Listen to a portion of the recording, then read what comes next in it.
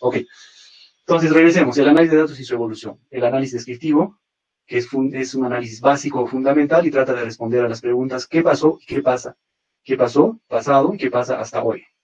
Su enfoque es de reportes, ¿no? De reportes. en el caso de responder la pregunta ¿qué pasó? Por ejemplo, una, una pregunta ¿qué pasó? sería ¿cuáles fueron los efectos hidrológicos del fenómeno del niño del año 2010.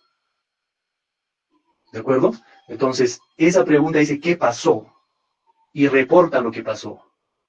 Los reportes son estáticos o interactivos, es decir, podría reportar solamente gráficas, em, curvas de precipitación, temperatura, etcétera, o hacerlas estáticas o interactivas. Interactivas, digamos, mes por mes.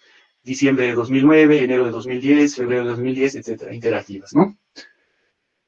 La otra forma de análisis descriptivo básico es responder la pregunta ¿qué pasa? ¿Qué pasa actualmente? ¿Cuál es el nivel de vulnerabilidad sísmica de la institución educativa XYZ? ¿Qué pasa? A través de mediciones y podría tener tableros de control, una investigación de este tipo, tener una gráfica que diga respecto a lo estructural, este es el nivel de riesgo, hay un relojito, respecto al sitio es esto, etcétera, ¿no? Un tablero de control. ¿Qué pasa hoy? Actualmente. ¿De acuerdo? Muy bien. La siguiente etapa del análisis es el análisis de diagnóstico u operacional. Este tipo de análisis trata de responder a las preguntas. ¿Por qué pasó? ¿Ah? ¿Por qué surgieron inundaciones en el Valle Sagrado de los Incas en el año 2010? ¿Cuáles son las relaciones? ¿Qué relaciones tiene con la precipitación, la temperatura y el retorno cíclico del fenómeno del niño. ¿Qué relaciones hay? ¿De acuerdo? El enfoque para este tipo de análisis es el análisis de tendencias, ¿no? Digamos, la temperatura del planeta tiende a subir tantos grados en una década. Hay también el análisis de causas. ¿Por qué sube esa temperatura? Eh, ¿Por qué sube la temperatura en el planeta? Es el efecto invernadero, la contaminación de, la industria, etcétera, ¿no? Análisis de qué cosa causa ese fenómeno. También hay un enfoque de análisis de conglomerados. Miren, este análisis de conglomerados se los envié yo al WhatsApp cuando les puse que cada uno de ustedes estaba en un grupo, en una, les dibujé una elipse y a cada uno lo puse en un, en un cuadrante de la elipse, ¿no? Y los clasifiqué, clasifiqué por grupos. Ese es un, un análisis diagnóstico que yo hice para tratar de entender cuáles son las relaciones de sus notas, de su asistencia, de la presentación de sus trabajos, cuáles son las relaciones. Y en última instancia me dijo, ¿por qué pasó? Porque algunos de ustedes tienen tan nota baja y otros tienen una nota bastante alta. ¿De acuerdo? Análisis diagnóstico. Las técnicas y herramientas para esto son la minería de datos, modelamiento de datos, árboles de decisión, etc. Hay muchas técnicas. ¿Ok? Bien. La siguiente evolución del análisis de los datos es el análisis predictivo, también conocido como análisis visionario. Y trata de responder a la pregunta, ¿qué pasará? Ahorita este análisis predictivo está de moda, y como escribía un, eh, un artículo del, diario El Comercio, este, ahora han aparecido pues bastantes epidemiólogos del teclado. O sea, cualquiera que agarre el Excel, mete las cifras al, Excel y trata de predecir cuántos, cuántos se van a informar el, día de mañana o pasado mañana, ¿no? Entonces, esos son epidemiólogos del teclado, los llama el artículo del diario El Comercio. Entonces, ¿qué es el análisis predictivo? Hace eso, trata de decir qué pasará.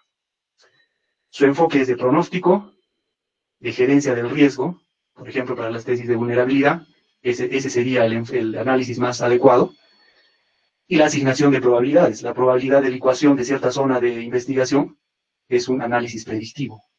¿Qué va a pasar? ¿Qué pasará? Eso se logra con minería de datos, modelamiento de datos, árboles de decisión, y una técnica que ahorita está, pero muy fuerte de moda. Ahorita digo que hace cinco años, ¿ah? no, ahorita, ahorita. Con ahorita me refiero a hace cinco años. Lo que se llama el machine learning o inteligencia artificial. Todo lo que tiene que ver con inteligencia artificial es una herramienta muy potente para hacer análisis predictivos. Por ejemplo, se puede analizar predictivamente el comportamiento del concreto. Se puede optimizar la granulometría a través de inteligencia artificial. Reducir costo, maximizar ah, resistencia, minimizar permeabilidad, etcétera, etcétera. Em, miren, Para que un, análisis predictivo sea potente, necesita de una gran cantidad de observaciones y datos. Yo he visto en el Facebook un colega ingeniero civil, que es este, creo que es jefe de Sensico en Lima. Creo porque no lo conozco al, colega, no, no tengo el gusto, pero en su Facebook se atreve a pronosticar desde la primera semana que apareció el, coronavirus en el Perú, con cinco o seis datos se atrevía a pronosticar lo que iba a pasar. No sé si sabe mucho de estadística o sabe algo que yo no sé, pero me extraña que se pueda hacer con ese número de datos, como vamos a ver más adelante. ¿De acuerdo? Para hacer un análisis predictivo se requieren bastante, bastante más muestreo. Si ustedes quisieran establecer el comportamiento del, digamos, del concreto a través de su granulometría, mínimamente estimo que necesitarían unas 120 briquetas solo para una, para una estimación, ¿no?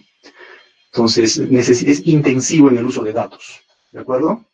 Entonces, hay dos, dos uh, digamos, hay dos um, límites para usar este análisis. Primero, el poder computacional, y segundo, la cantidad de datos. es muy, muy potente, pero consume demasiado esas dos cosas. ¿De acuerdo? Muy bien. Esto sucedía en los 80, ¿ah? Esto del análisis predictivo ya sucedía en los 80. Esto es de los 90, de, los 90 y de la primera, la primera década del 2010. El análisis prescriptivo. ¿Ok? No solo basta con decir qué pasará, sino cómo se debe actuar a raíz de eso, ¿qué pasará? Si van a haber 30.000 contagiados de acá tres semanas, se supone que tienes una cifra que va a ir al hospital y debes actuar conforme a ese análisis predictivo. Debes tener 1.500 camas de unidad de cuidados intensivos con su respirador. ¿Ok? Pero este análisis prescriptivo nació más para la robótica, porque, fíjense, voy a hacer el comparativo de un robot. ¿ya? Supongan que es un robot que controla una cisterna que riega la base del pavimento antes que la compacte, ¿ya? Mire, el análisis descriptivo haría lo siguiente. Ese robot avanza por la, por el, por la vía, ¿no? Sobre la tierra sin compactar y necesita llegar al contenido óptimo de humedad. Entonces, el análisis descriptivo sería que el robot saque una sonda, la meta en el suelo y diga, este suelo, aquí, aquí, aquí y aquí, tiene 8% de humedad. Ahí queda el análisis descriptivo. Ah, ya, ¿tiene 8%? Sí, tiene, ya, listo. El análisis de diagnóstico u operacional diría, muy bien, el robot mide el el contenido de humedad del suelo, determina que es 8% y tiene el algoritmo para decirte por qué está pasando eso. Porque la válvula de eh, de la cisterna está, ah, digamos, está más cerrada de lo que debería, está botando menos agua de la que debería, o porque la velocidad del vehículo es más rápida de lo que debe. Te, dice, tienes una humedad de 8%, debe, y la velocidad del vehículo es tal. Es un diagnóstico. Luego viene, este robot puede tener el algoritmo siguiente, mide la humedad, mide la velocidad del vehículo, el caudal que está saliendo de la cisterna, y como ve que tiene 8% y dentro de su algoritmo tiene que ese suelo debe tener 12% para llegar a la, a la densidad máxima seca, podría eh, comunicar al gestor del proyecto y decir, oiga, este suelo tiene 8%. Si sigo así, usted solo va a llegar al 90% de la densidad máxima seca. Y eso le va a hacer fallar su base. Predice, predice el robot. ¿Ok? Y el análisis prescriptivo es lo siguiente. El robot mide la humedad, el robot diagnostica velocidad y caudal. El robot predice que no estoy llegando a 12% y el robot prescribe y dice, como no estoy llegando al 12%, me falta agua, debo abrir la válvula. Abre la válvula y sale más agua. Es decir, toma una acción para corregir a través de ese análisis de datos. Para eso fue inventado el análisis prescriptivo, sobre todo para la robótica, para que tome decisiones por sí solo y lo haga. ¿De acuerdo? Entonces, para que eso funcione, debe estar eh, el análisis prescriptivo en un enfoque de planeamiento por escenarios, simulaciones de estrategias, eh, optimización de opciones. ¿De acuerdo? Hay una herramienta muy potente que se llama análisis lineales y no lineales, que tiene que ver con la optimización de procesos. Entonces, la contribución de los datos según su análisis para entender el fenómeno es en este sentido, de bajo a alto. Es decir, este tipo de análisis prescriptivo es el más alto en contribución y complejidad. ¿Contribución a qué? A entender el fenómeno. Y a manejar el fenómeno en última instancia. Este no solo entiende, este maneja y decide. Es altamente complejo y contributivo. ¿Alguna pregunta hasta aquí, colegas? ¿Me estoy dejando entender? Se han dormido, creo. Ok. Yo quiero que participen también, ¿ah? Si no voy a pensar que se, que se duermen, están aburridos. Hagan preguntas, compañeros, por favor. Ya. Si no me siento más solo de lo que estoy. Ya. Todo bien, ya, todo bien, todo suave. Sigamos. Entonces, para hacer estos análisis, estos análisis se hacen sobre datos y conjunto de datos. Los datos son piezas de información concreta que permiten estudiar o analizar los fenómenos o hechos. Así de simple. Esta es una tabla de datos de una tesis real de vuestra compañera, de una, bachiller me refiero. Y eso es, esto es, cada una de las filas es un dato y todo este grupo coherente, interrelacionado, es un conjunto de datos. Habitualmente está tabulada, habitualmente está tabulada. No he visto otro tipo de, de especificación de los datos, dicho sea de paso, que no sean las tablas. ¿De acuerdo? Eso es. Sigamos. ¿De dónde se obtienen los datos para hacer cualquier tipo de análisis? ¿Ya? ¿De dónde se obtiene? En principio hay dos fuentes, las secundarias y las primarias. Las fuentes secundarias son todos aquellos datos que otros han obtenido y los han publicado. Por ejemplo, los datos publicados por el MINSA acerca de, eh, de la epidemia. ¿No es cierto? Son secundarios. Ellos los han obtenido y los publican. Los datos secundarios son las tablas que ustedes van a encontrar en las tesis de vuestros compañeros de la Universidad Andina. Los datos secundarios son todo aquello que otra, otro investigador ha desarrollado. ¿De acuerdo? Ahora, la otra fuente principal de datos eh, son los datos, las fuentes primarias. ¿De acuerdo? Primaria quiere decir de primera mano. De primera mano, que ustedes lo han obtenido directamente con vuestra investigación. Ah, los ejemplos de esto son las mediciones de laboratorio, las encuestas, sobre todo para evaluación de vulnerabilidades, y las entrevistas. Las entrevistas a expertos también son fuentes primarias de datos. Eh, eso es. Y básicamente los datos primarios se obtienen a través de estudios estadísticos. ¿Ya? Estudios estadísticos. O sea, la fuente es primaria, pero hace uso de estudios estadísticos para obtener ah, datos. Dentro de los estudios estadísticos hay tres, tres formas, básicamente. ¿Ya? Esas son las más importantes y las principales. Los estudios estadísticos experimentales, del cual vamos a hablar en las siguientes slides. Los estudios estadísticos observacionales, ¿ya? La vulnerabilidad sísmica de la institución educativa XYZ es un ejemplo de un estudio observacional. El modelamiento de una cuenca hidráulica es un estudio observacional. ¿Ok? Observas el fenómeno. El investigador no tiene la intención de manipular el objeto de estudio. Lo observa. ¿De acuerdo? Y hay un tercer tipo de de estudios estadísticos que son los correlacionales, que como vamos a ver más adelante, solo establecen que X se correlaciona con Y en algún grado, pero no establecen causalidad. Más adelante voy a explicar y voy a repetir hasta el cansancio. No establecen causalidad, solo correlación. ¿De acuerdo? Veamos entonces cada uno de estos, de estos, de estas formas de estudios estadísticos. Para entender los estudios estadísticos eh, y la diferencia entre experimentales y observacionales, hay que entender primero las dos vertientes de la estadística, que son la descriptiva y la inferencial.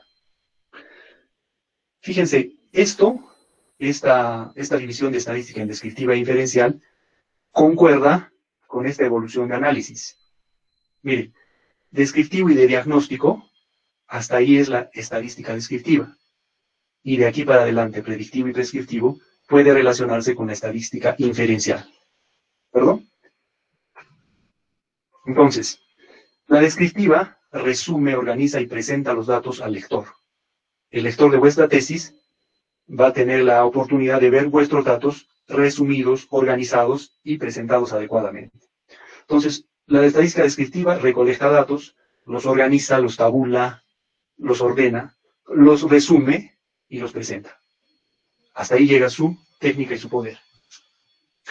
La otra vertiente, que es la estadística inferencial, usa los datos para responder preguntas o sugerir acciones. Acá está. Responder preguntas sobre el futuro, qué pasará, y sugerir acciones. ¿Ok? Entonces la estadística inferencial hace inferencias, hace pruebas de hipótesis, determina relaciones. ¿Ya? Determina relaciones, cosa que no hace un estudio estadístico correlacional. Ahora van a ver por qué. Y hace predicciones. Entonces son dos distintos enfoques de investigación. El primero describe el fenómeno y lo presenta bonito. El segundo hace, responde preguntas, prueba hipótesis, hace inferencias, hace predicciones. Entonces, dependiendo de vuestro tipo de investigación, tendrán que agarrar una de las dos vertientes en mayor grado. ¿Ok? Ahora, si hay una descriptiva, podría tomar ciertos tintes de, de inferencial, pero no es lo usual. Más bien, una inferencial sí toma la descriptiva. Porque primero, para hacer sus inferencias, tiene que organizar, presentar y resumir los datos y luego hacer las inferencias. ¿Ya? Esta inferencial sí toma toda la descriptiva. Hace la descriptiva y luego la inferencial. En cambio, lo otro no, casi no es usual. Que una descriptiva tome partes de esto, no, porque no es su, el diseño, el diseño del estudio estadístico no es, no da para eso. ¿De acuerdo? Muy bien, sigamos entonces. Habíamos dicho que hay tres formas de estudios estadísticos para obtener datos primarios. El primero son los estudios estadísticos experimentales. Hablemos de eso. ¿Qué es un estudio estadístico con método experimental? Es un estudio con procedimientos estrictos, bien definidos. ¿Cómo se va a medir, la resistencia al concreto F'C? Haciendo los pasos 1, 2, 3, 15, 25, 30. Listo. Se mide así, así, así, se pone, se mide el diámetro, se agarra tal y el material tal. Procedimientos estrictos. ASTM, MTC, norma técnica peruana, etc. Procedimiento estricto. No pueden salirse de ese procedimiento y debe asegurar tres cosas, por lo menos, para que sea un estudio experimental, un estudio estadístico experimental. Primero, que se manipulen las variables. Si no se manipulan, no es experimental. Segundo, y esto es muy importante, que se aleatoricen las muestras. Es decir, que las muestras o los objetos de estudio o los sujetos de estudio sean escogidos al azar. ¿Ya? A diferencia de que yo los escoja, digamos, eh, que los, que los objetos de estudio me escojan a mí. Una cosa es que yo escoja de 100 instituciones educativas que tengo en mi ámbito, la sortee y saque mi ámbito muestral. Y otra cosa es que venga el director de la institución educativa XYZ y me diga que haga el estudio en su, en su institución educativa. Allí no hay ningún tipo de aleatorización. ¿De acuerdo? Y tercero, debe procurar grupos de control. Vamos a hablar más adelante de los grupos de control, qué son, para qué sirven, cómo son en ingeniería civil. Entonces, habíamos dicho, no habíamos dicho, pero aquí debo mencionarles que el método experimental sí determina relaciones causales. ¿Ya? A diferencia del estudio estadístico correlacional. El estudio estadístico correlacional solo determina relaciones y correlaciones el estudio estadístico experimental tiene el poder de determinar relaciones causales. ¿Cómo es una relación correlacional? El método triaxial, tengo el método para obtener los parámetros del suelo a través de un ensayo triaxial, y lo puedo comparar con los resultados del método del corte directo, del ensayo de corte directo. Entonces, si yo tengo distintas muestras de suelo y someto un pedazo de esa muestra al triaxial y otro pedazo al corte directo, entonces voy a hallar una correlación entre un método y otro. Lo que no es lo mismo que decir una causalidad. Si encuentro que la correlación entre métodos tiene un R de Pearson, vamos a hablar más adelante de eso, de 0.95, no quiere decir que el triaxial cause el resultado del corte directo. Lo único que quiere decir es que hay relación. No sé si me dejo entender. Solo explicita la relación. Pero ni el corte directo ocasiona los resultados del triaxial, ni el triaxial ocasiona o causa los resultados del corte directo. No sé si me dejo entender. ¿Ok? Entonces, el método, el estudio experimental, estudio estadístico experimental, debe reunir las tres siguientes condiciones para poder tener el poder de determinar relaciones causales. Debe haber una variación concomitante. ¿Qué significa esto?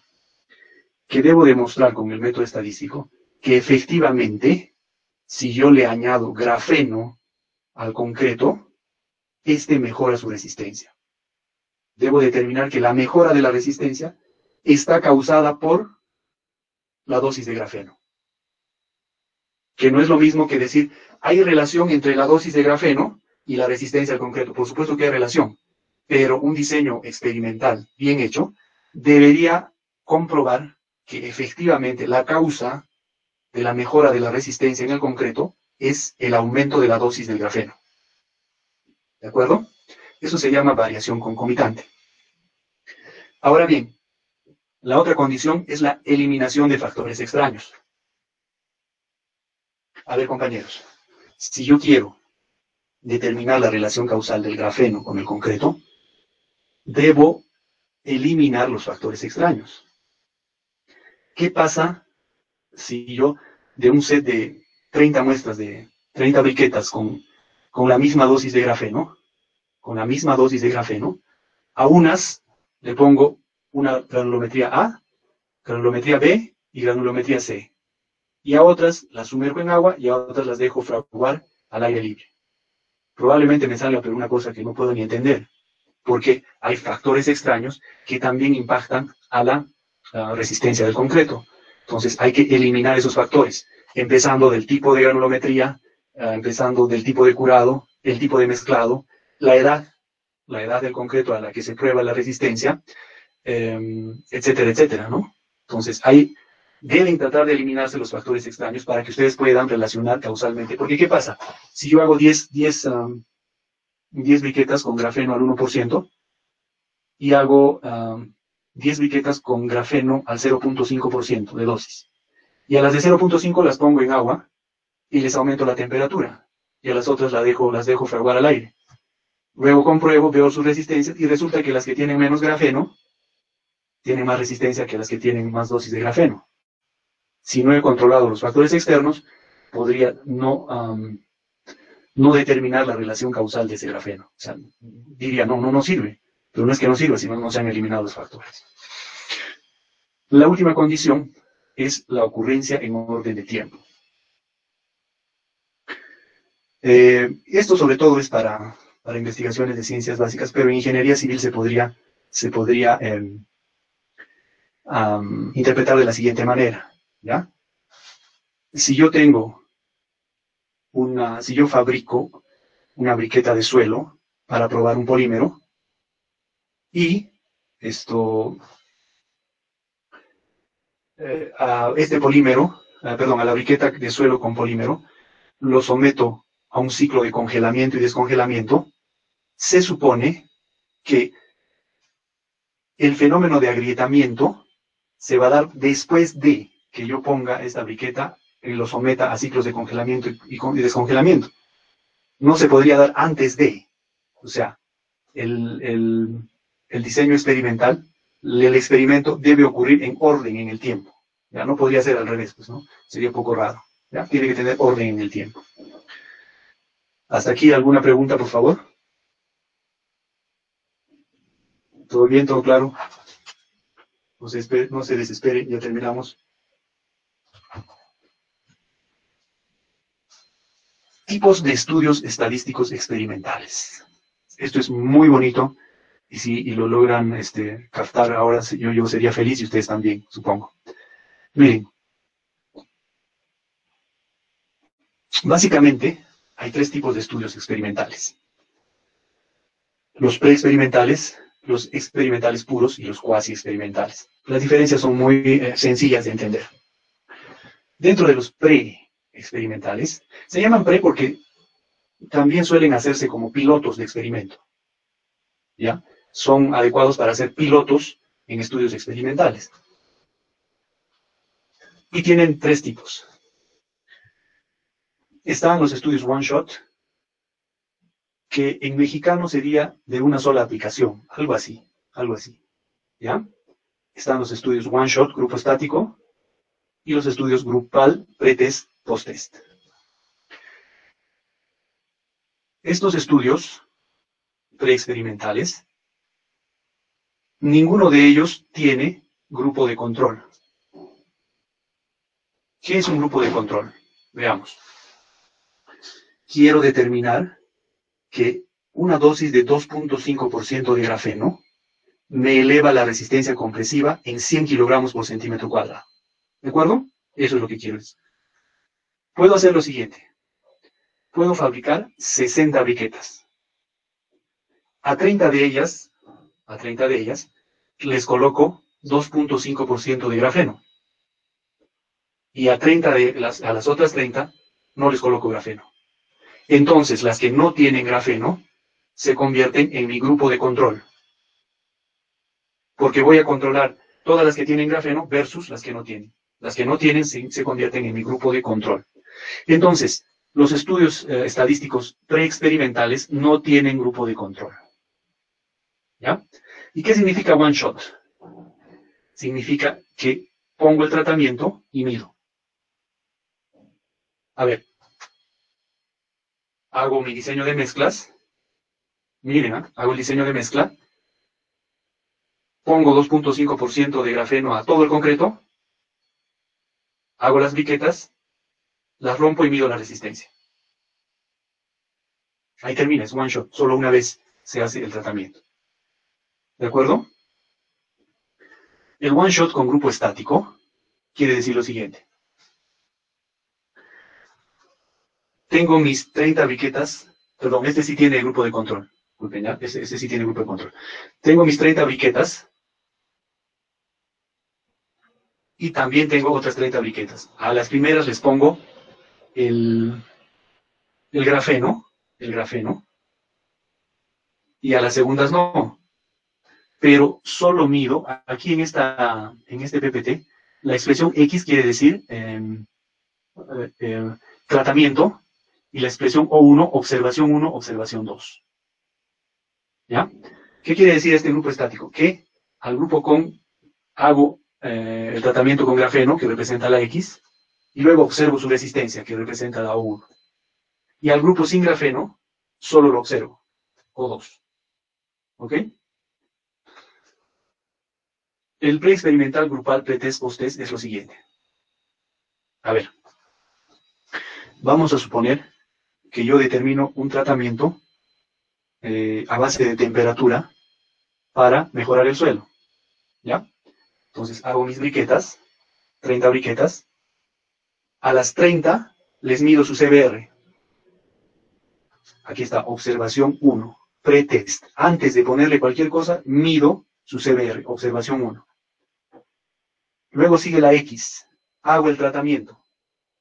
Por ejemplo, voy a suponer que mi tratamiento es calentarlo en cierto ácido a 20 grados. ¿Ya? Lo pongo al ácido, 20 grados luego los saco esas, esas ah, briquetas de suelo y hago una observación 2. Entonces es observación antes del tratamiento, tratamiento, observación 2. Pretest, posttest. Entonces voy a saber, antes de que yo le ponga ese tratamiento de temperatura en ácido, cuánto CBR tenía, y luego le pongo ese tratamiento y luego vuelvo a medir, de forma que tenga la diferencia entre esos dos CBRs. CBR antes del tratamiento CBR después del tratamiento. Pretratamiento, post-tratamiento. El tratamiento está simbolizado por la X acá. Muy bien. Estos son los preexperimentales. El segundo tipo de estudio se llama experimental puro. Un eh, estudio experimental puro se caracteriza por la aleatorización de las muestras. Las muestras son completamente escogidas al azar, ¿ya? Al azar. Y básicamente hay dos tipos de diseños. Diseño con grupo de control pre y post test, que es similar a este. Eh, y diseño con grupo de control solo con post test. A ver, veamos cómo está esta, esta formulación. Acá, listo, mejor. Diseño con grupo de control pretest post-test. Esta R, esta R en el diseño, en la, en la nomenclatura de eh, experimental, significa que los sujetos han sido escogidos al azar, aleatorizados. Esta R no, no encuentran en ninguno de los otros diseños, solo en este. Entonces, primero hago la observación 1, en un grupo.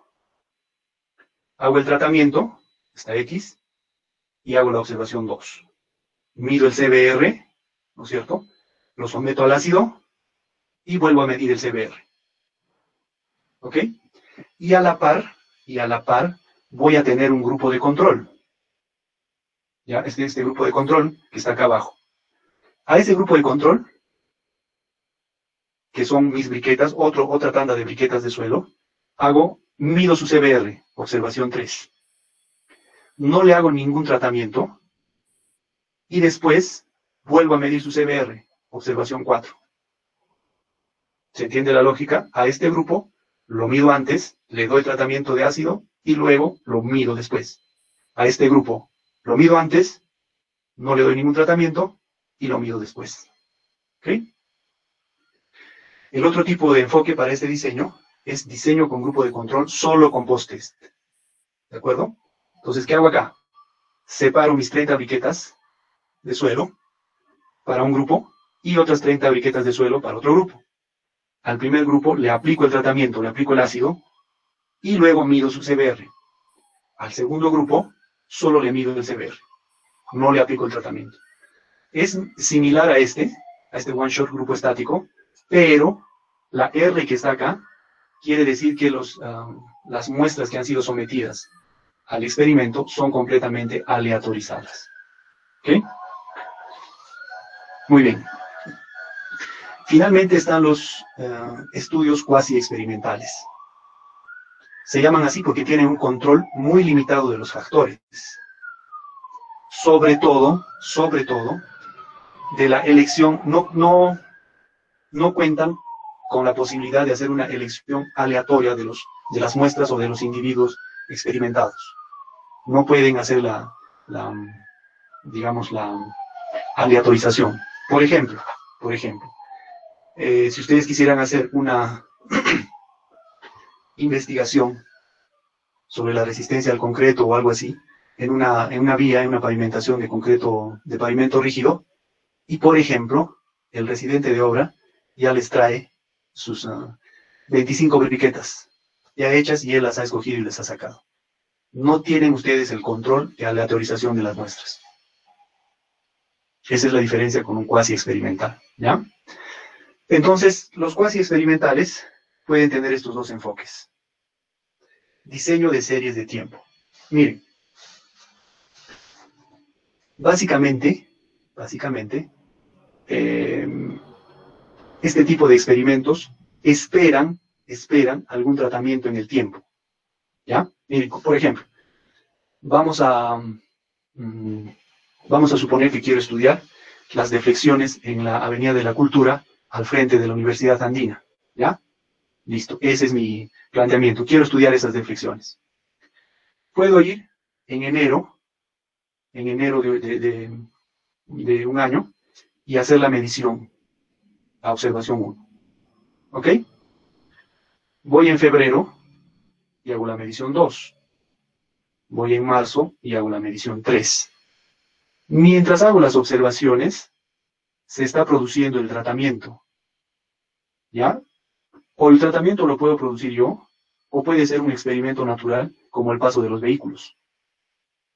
Este tratamiento X podría ser el paso de los vehículos.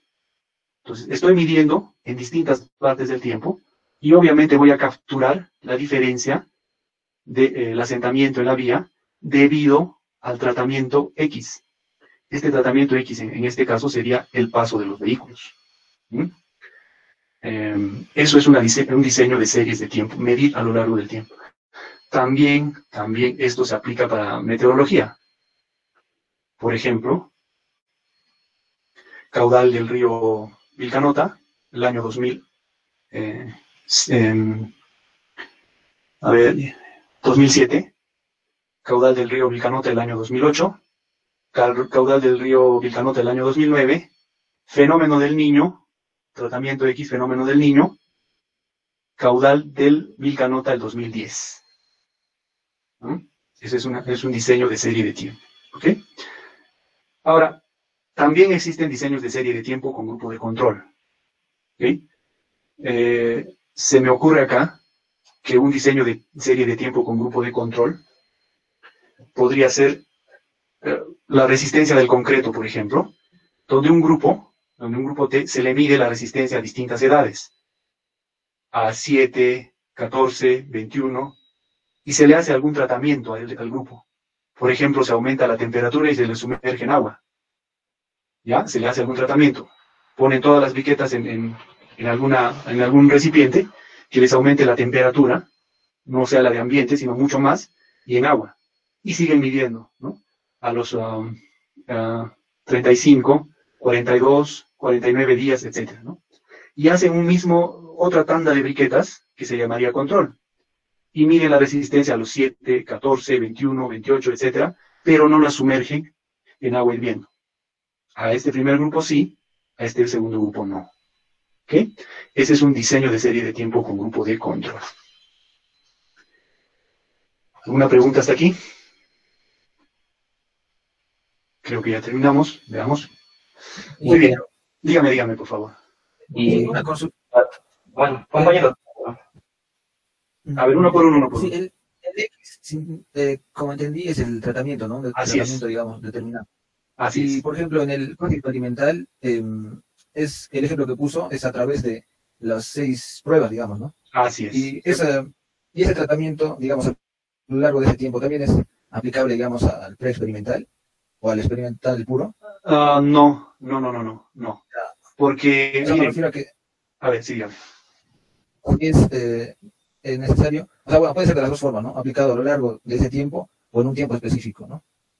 Sí, a ver, miren, miren, este cuasi experimental, cuasi experimental, no tiene, tiene un control limitado sobre los factores. Usted, por ejemplo, si quiere estudiar el fenómeno del niño y cree que esta X, que es el tratamiento, es el fenómeno del niño, usted no va a decidir cuándo llega el fenómeno del niño. Usted no va a decirle, en 2023 te presentas y yo te mido. A eso se refiere la escasez de control, control limitado.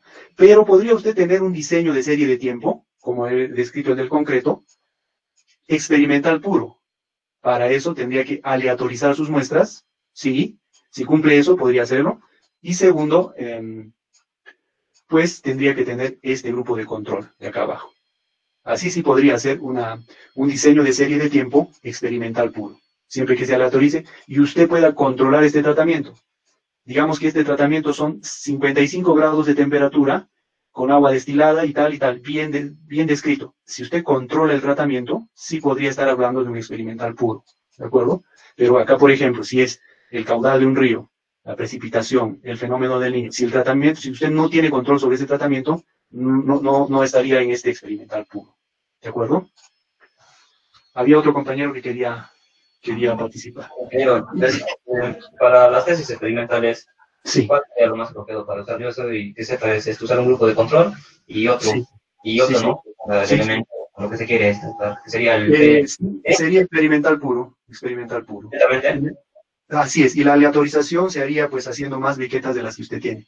Tendría que escoger de unas 120 unas 60, aleatoriamente, aleatorizar las muestras, ¿no? Para que cumpla experimental puro y tener su grupo de control no olvide que para que sea puro y no se vaya a las otras um, tipos, tiene que aleatorizar sus muestras. Entonces, para aleatorizar algo hay que hacer más muestras y probar solo las que usted va a aleatorizar. O sea, básicamente desperdiciar otras, ¿no? Solo por el, em, digamos, por el método. Pero yo recomendaría este experimental puro, ¿no? Eh, podría ser un preexperimental, pretest post-test, pero el problema es que el ensayo de compresión del concreto es destructivo. Y para que sea un grupal pretest post-test tiene que tener la posibilidad de em, hacer el tratamiento, perdón, la medición antes, tratamiento después. ¿no? podría, en el caso de, si usted quiere compresión simple a través de, rotura de briquetas, podría ser este, la resistencia superficial a través del método del esclerómetro, eso sí podría darle acá un preexperimental, ¿no? Pero acá sería lo más este, recomendable para, para las experimentales. ¿Alguna otra consulta, contribución, por favor? Esta parte del diseño del grupo de control. Sí. Este, es decir, tendría que tener un universo mayor y de eso hacer una muestra aleatoria para usar eso. Así es, así es, así es. Y sacar un grupo de control y un grupo de tratamiento. Y seguir, por ejemplo, este diseño. Observación antes, tratamiento, observación después, o este diseño de un, solo shot, ¿no? Tratamiento, medición y medición del grupo de control. Este sería para, pruebas destructivas, este, diseño con grupo de control, solo con post-test. ¿Por qué no pretest? Porque se destruirían las briquetas. Nada más que por eso, ¿no? No, podría hacer el pretest a la briqueta, ponerle grafeno y volver a, volver a, a, destruirla, ¿no? ¿no? No es algo lógico. Sería un diseño con grupo de control solo con post-test. Entonces ahí tendría, así es. ¿Y qué porcentaje del universo debería ser la muestra? Eh, eso vamos a hablar en las siguientes sesiones. Es, es el tema que más me gusta, dicho sea de paso. Es fantástico, no se lo pierda. Bien, bien. ¿Alguien más desea contribuir, opinar? Muy bien. Espero estar este, explicándome adecuadamente. Sigamos, ya para terminar. Entonces, el estudio correlacional, compañeros, correlacional, que es el tercero de estos, acá está. Hemos descrito los experimentales, les he explicado los observacionales, ahora hablemos un poco del correlacional. El correlacional determina relaciones existentes. Por favor, tomen nota, escriban con rojito y subrayenlo y sueñen con esta, con esta oración, por favor. El estudio correlacional no determina relaciones causales. Repito, el estudio correlacional no determina relaciones causales, solo determina relaciones entre las variables. Y la relación puede ser negativa, positiva y con distintos tipos de fuerza. Puede ser fuerte, moderada o débil. ¿Ya? O puede ser nula, con lo cual significa que no hay correlación entre las variables. Si llega a 1 es correlación positiva perfecta, si llega a menos 1 es correlación negativa perfecta. ¿De acuerdo? No, ahorita vamos a ver a qué se refiere que no, no puede tener relaciones causales. A ver, aquí les he puesto una gráfica donde se correlaciona la densidad seca de una base con el análisis, la mediana del análisis espectral Joule-Walker. Es un análisis que se hace a las ondas de geófono. Es muy bonito, un tema muy apasionante, pero ahí lo googlean si es que tienen interés. Entonces, ¿qué hemos correlacionado? La densidad seca con la mediana del método de Joule-Walker. Y se obtiene que la correlación es de menos 0.366. ¿Ya? Eso quiere decir, esto es de una tesis este, de la vida real, por si acaso. Quiere decir que la correlación es, está por acá. Entonces es una correlación negativa débil. ¿De acuerdo? Acá está. Menos 0.366 estará por acá. Entonces es una correlación negativa débil. ¿Qué quiere decir que no hace causales? Que el geófono y la medición del geófono no causan la densidad seca ni viceversa, ni viceversa. La densidad seca no causa la medición del geófono, pero sí tienen relación, correlación. Hay una correlación débil negativa. ¿De acuerdo? Pero ninguna de las dos se causa. Yo no puedo afirmar que la densidad seca de esa base causa la mediana del análisis espectral del método Joule-Walker. No puedo afirmar. Lo único que puedo afirmar es que hay una correlación negativa débil. ¿Me dejo entender? Muy bien. Eh,